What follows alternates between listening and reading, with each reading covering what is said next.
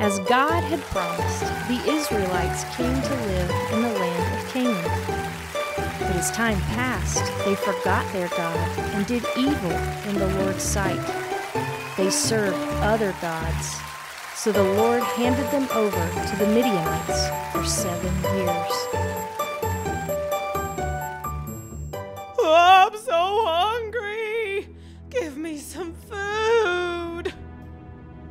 For six years, I've been farming. Those Midian people attack every day. Ah, how can we live through this hunger? Whether the harvest is good or bad, we don't have anything. In the seventh year, the Midianites came to camp in the Israelites' land. The Midianites destroyed the crops, took all the sheep, the cattle, everything.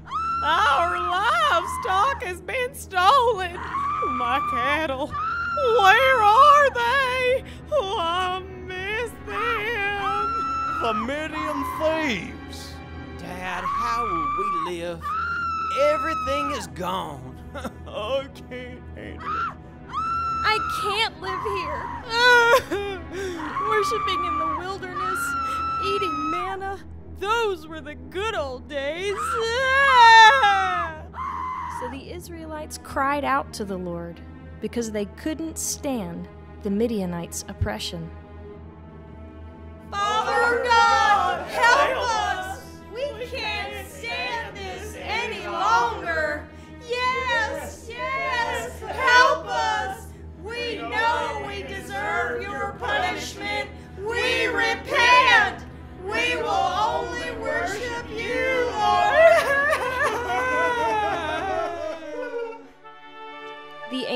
God sat under an oak tree. At that time, Gideon was beating out wheat in the winepress to hide from the Midianites. Hide and seek. No one will know I'm gathering grain. I feel like a wimp down here, but there's no other way. The Midianites are always stealing from us. They'll take everything if we let them. Mighty hero, the Lord is with you. Who is it? I don't even tell my mom that I'm here. How did he know I'm down here? God is with you. No way.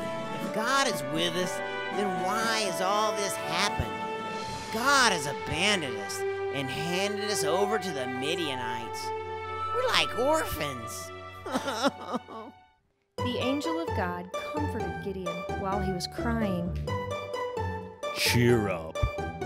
God has chosen you to deliver Israel from the hand of the Midianites, and I will send you to Midian. You will save the Israelites.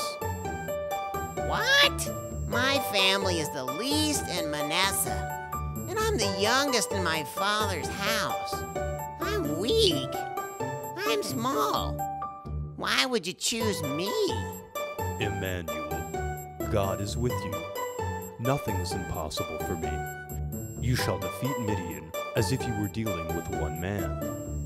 But Gideon was still fearful, so he asked for a sign from the Lord. Okay, but I have one condition. Hmm. If I'm talking with the Lord, hmm, would you please show me proof? Okay, okay. So, what would you like me to do? Gideon went in and cooked a young goat in a basket of flour. He baked some bread without yeast. Then, carrying the meat in a basket with the broth in a pot, he brought them out and presented them to the Lord, who was under the oak tree. Place the meat and the unleavened bread on this rock, and pour the broth over it. When the angel of God touched the meat, right at that moment, fire flamed up from the rock and consumed the bread. And the angel of the Lord disappeared. Gideon finally realized that it really was the angel of the Lord. Wow! Am I dead or alive? I met the Lord, and I'm still alive? God is Yahweh Shalom. God, my peace, is with me. So Gideon built an altar to the Lord and named it Yahweh Shalom, which means, The Lord is peace.